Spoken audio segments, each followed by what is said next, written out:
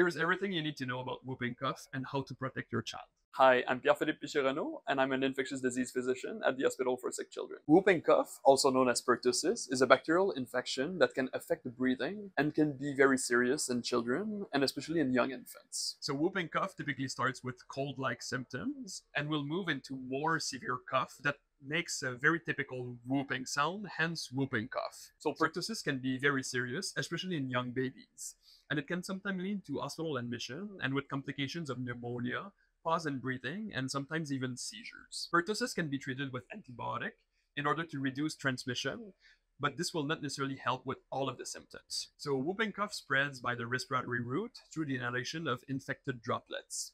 People who have whooping cough can be contagious for many weeks, especially when they're not treated with antibiotics. The good news is it's very easy to prevent whooping cough because there is an immunization that's available for children, adults, and those in the last trimester of pregnancy. If you have questions about whooping cough or any immunization for your child, feel free to call the Sick Kids Immunization Info Line. It's a free service that offers a live one on one conversation with a Sick Kids trained nurse.